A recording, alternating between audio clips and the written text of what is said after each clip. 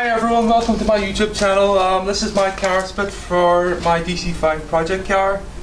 Um, I built it a long time ago and I have never done a YouTube video on it. Um, I'm looking to do one now too in case because it makes sense.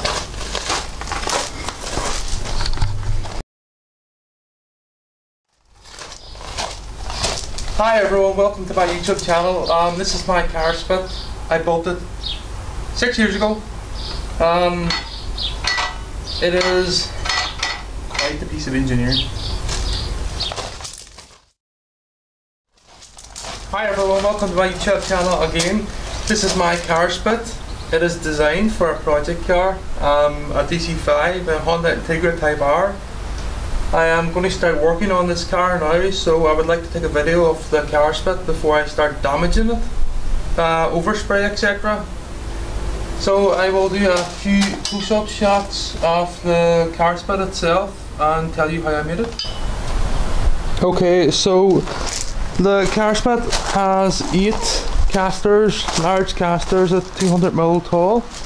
Um, this is for transporting the car spit with a car on it over rough ground. As you can see, I work on these stones, the arch stones. And the car spit is also painted with um, a yellow enamel paint. And it is covered in a grip, black grip, adhesive tape to protect the paint. Um, here we have a bushing with a bit of steel bar bored out to 25mm um, this here is a bushing welded on to the 25mm shaft. And the shaft is welded right through the boxer to here. Um, the car spit is made out of 50mm box right round. Um, these brackets here mount on to the car. They're made out of stainless steel. Um, this here is a locking, they tight, they got a brake locking mechanism. It would lock it up a wee bit if needed but it's mainly controlled by the other side. So here we go.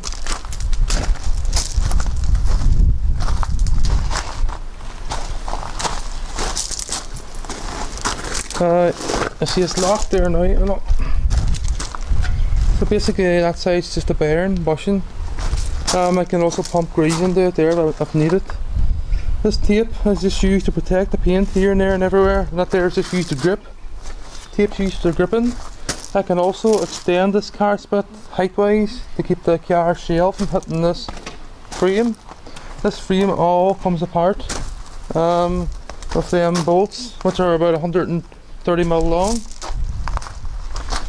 If this frame didn't have them two runner supports along here, um, the a bit sore in these brackets, it can be uh, pushing it. Um, these wheels can tend to, this whole unit tends to splan, so it's good having these supports.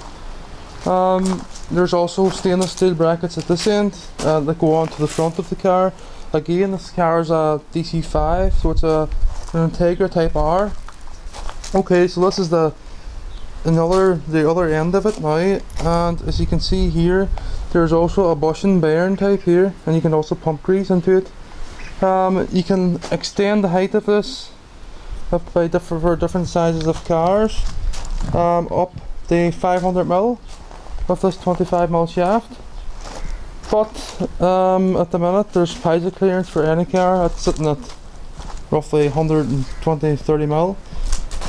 Okay, so I rolled this. I rolled this um, pretty nice handle mechanism, and this is all made of stainless steel and below it, but it doesn't, doesn't need to be stainless steel. This is just bars welded in to make a nice rotating lever.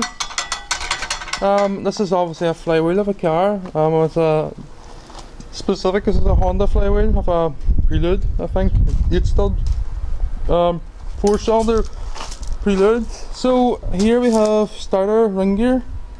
Uh, there's two bearings uh, put on the a bushing.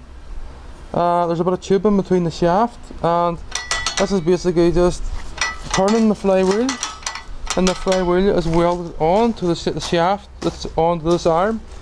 So that's why you have the bushing on the other side. the bearing so the car rotates. So basically when I turn this, the car turns nice and gently. This locking mechanism here is basically um, ring gear off a tra uh, or not a tractor, there's a tractor going up the road and I'm getting distracted, okay. This is ring gear off another flywheel and basically I have um, took the radius out of it a wee bit or made the radius far bigger so it's, it's straighter looking and there's also another bushing idea made up here a bushing of a pin and this is welded here but obviously it, I have it nicely sanded down with painted with enamel paint. You don't, you don't see the welds. Um, basically if you want if you're locking it either direction there now look it's locked. Um, so that's locking of the car's weights hanging on anti-clockwise. And if the car weights hanging on clockwise with my hands on this here um, it's locked this direction so we will show you more about it when we put the car on the spit um, people could say I went over the top as I do but um, I don't think so.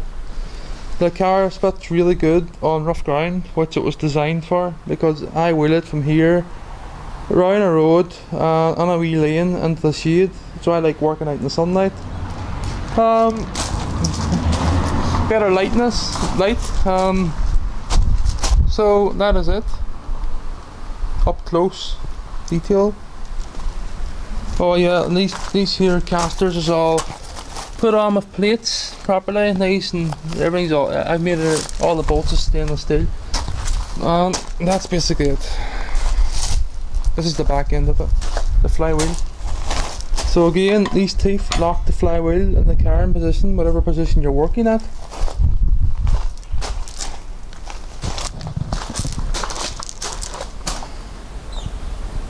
And that's it. Hi everyone, very day today out here, but I'm going to show you a sample now of this car spit rotating the car. Azimo, stay back! Azimo, back. Stay back. Right, here we go. So I'm turning this handle thing that I've made now. And this car has currently no quarter panels on no roof skin because I was painting, Azimo, go back, I was painting the interior. Uh, he tumbles that camera Um, I was painting the, the panel of the car before I put the quarter panels on. Um, so here's me rotating the handle. It works very well. I can lock it here. Camera's going. Go back. I can lock it there if need be. Um, I can lock it a steeper. I can lock it perpendicular to the ground as I'm go back as on there. Or I can lock it up right upside down.